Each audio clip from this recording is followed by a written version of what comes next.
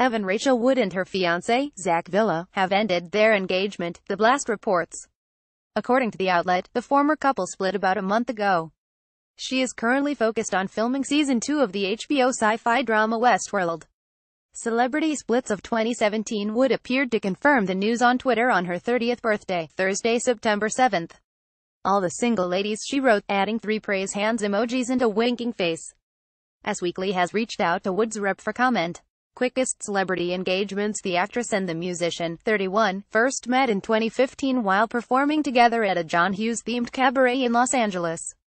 They formed the electropop duo Rebel and a Basket Case that same year. Villa is a self-taught multi-instrumentalist and singer-songwriter who plays guitar, bass, keyboards and drums, among other instruments, according to the group's website.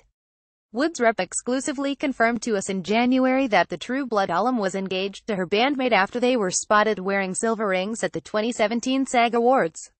See all the stunning, sparkling celebrity engagement rings of 2017 Wood, who is bisexual, was previously married to actor Jamie Bell.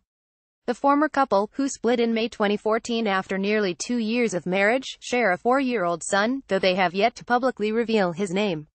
The Twotime Emmy nominee revealed last year that she was sexually assaulted twice. I've been raped, she told Rolling Stone in November 2016. By a significant other while we were together and on a separate occasion, by the owner of a bar. I don't believe we live in a time where people can stay silent any longer. Not given the state our world is in with its blatant bigotry and sexism.